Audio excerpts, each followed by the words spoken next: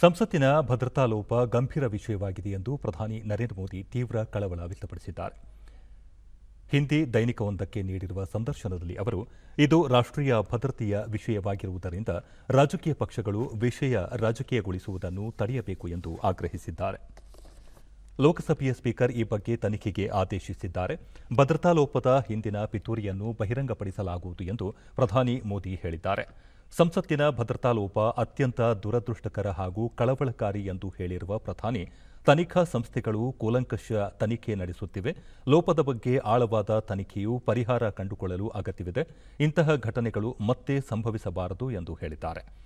ಆರೋಪಿಗಳ ಉದ್ದೇಶ ಹಾಗೂ ಘಟನೆಯ ಹಿಂದೆ ಸಕ್ರಿಯವಾಗಿರುವ ಅಂಶಗಳ ಬಗ್ಗೆ ತಿಳಿದುಕೊಳ್ಳುವುದು ಮುಖ್ಯ ಎಂದು ಪ್ರಧಾನಿ ಹೇಳಿದ್ದಾರೆ.